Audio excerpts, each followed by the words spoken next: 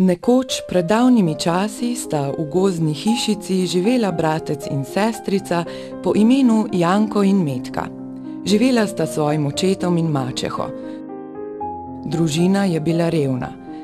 Zato se je mačeha odločila, da ju oče odpelje v gost in tam pusti.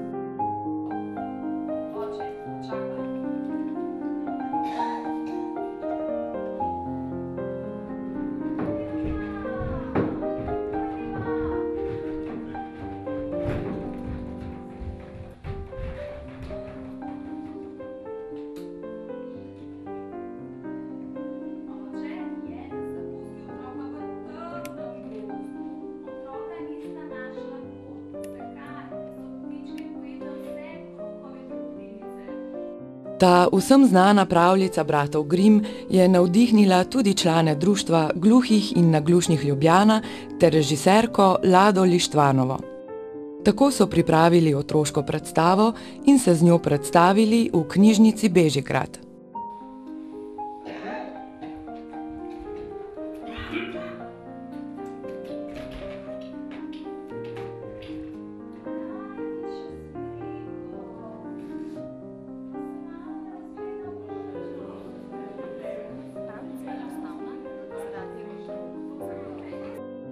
Gledališka skupina deluje v okviru kulturne sekcije Vita Zupančič. Že vrsto let se zauzema za širjenje kulture gluhih in sodeluje tudi na vsakoletnih mednarodnih festivalih gledališke igre gluhih in naglušnih.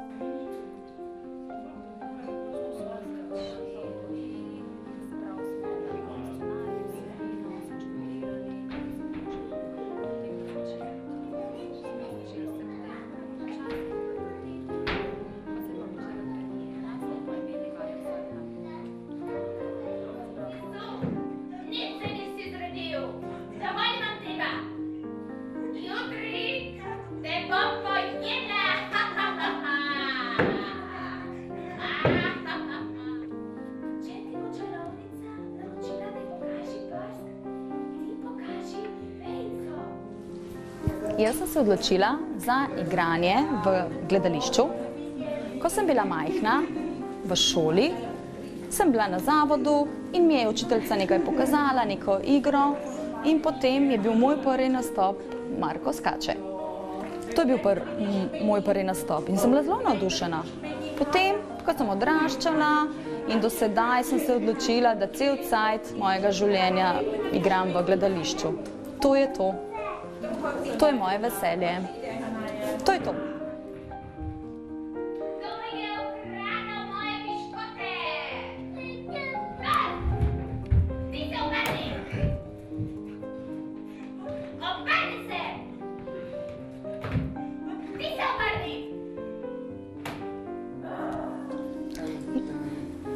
Zelo rad igram,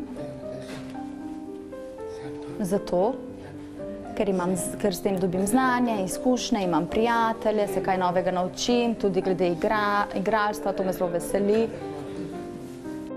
Poleg Marte in Nejca pa so nastopili še Nada Slatinšek, Zlatka Petrač, Janko Marinček in Ivan Vačovnik. Ta predstava mi je zelo všeč. Zaradi tega, ker sem tudi ljubiteljica pravljic in Janko in Metko zelo dobro poznam. In tudi sedaj, ker imam hčerko in zaradi nje sem jo tudi pripeljala, da si lahko skupaj ogledava pravljico. Zato, ker tudi ona, kot moja hčerka, obvlada znakovni jezik in zato sem tudi zaradi tega jo pripeljala sem. Predstava je bila izvedena v slovenskem znakovnem jeziku, za slišeče pa je tolmačila Karin Bruman.